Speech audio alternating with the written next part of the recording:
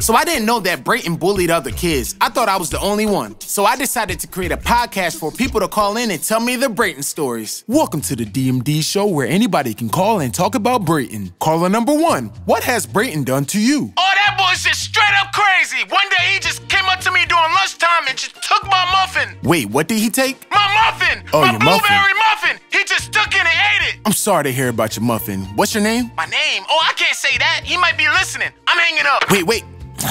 Caller number two, what has Brayton done to you?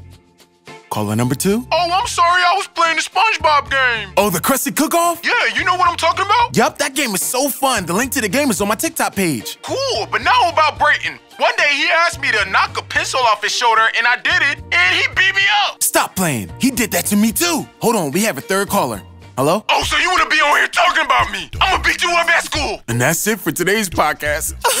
so when I got to school one day, I seen two of my friends bobbing their heads. Look at your shoes, look at your pants, look at your shirt. Oh, this is great. Look at your shoes, look at your pants, look at your shirt. Yo, yo, Desmond's coming. Turn it off. Yo, what was that song? We're not listening to a song, we're playing the Aqua Park game. Yeah, it's a game where you go down water slides. The link to the game is on my page. Nah, y'all were listening to a song. What song was that? You're not gonna like it. Yeah, Brayton made a whole song about you. About me? What are you talking about? You remember back in fifth grade when you wore that funny looking outfit and Brayton started talking about you? I mean, really, look at your shoes. Look at your pants. Look at your shirt. Trust me, I remember, but what about it? He made a whole song about it. Yeah, he been on iTunes, Spotify, everywhere. Oh, y'all must be talking about my new song. Have you heard it, Desmond? It's about you. Nope, and I never will. You better listen to it before I get mad, okay? One day he came to school wearing some funny clothes. I looked down at his feet and said, Hot water road. What do you think? Oh, I love it.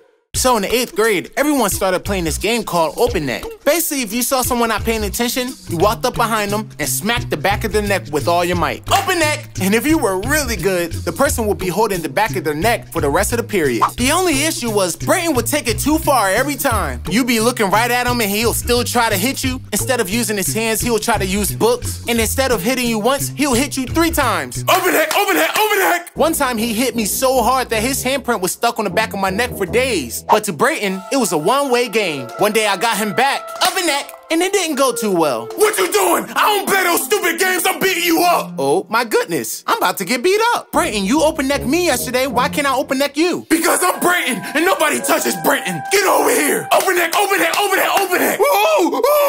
So one afternoon, Brayton took a nap and his older brother Ethan wanted to play a trick on him. Wake up, Brayton. It's time to go to school. what time is it? It's 7 o'clock. You're about to be late for school. Oh no, I got people I gotta beat up today. Brayton got washed up, put on some clothes, and headed to the curb to wait for the bus. I seen him sitting outside and I said, Brayton, why are you sitting on the curb? I'm waiting for the school bus. Why don't you have your school uniform on? because it's 7.30. Yeah, I know, stupid. 7.30 p.m. Now who's stupid? 7.30 p.m. Oh! Ethan! Wait, I'm playing the Simon game. This game is so fun. I'm trying to survive. The link to the game is on my page. Why did you say it was time for school? Because I can do what I want to do, and you can't do nothing about it. Huh, little boy. Ooh, I can't stand you, Ethan!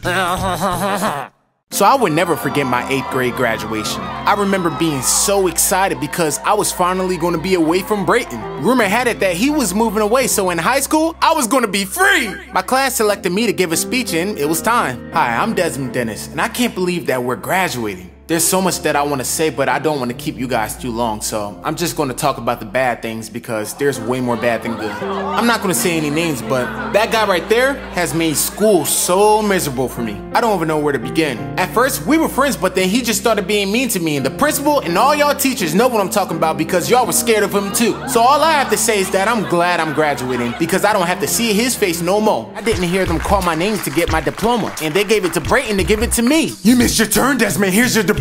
Ooh, you gotta be a little quicker than that. My diploma! You just had to bully me one last time, huh? So many colors, you look just like a clown. Wait, you came to school wearing hand-me-downs. I seen those clothes before.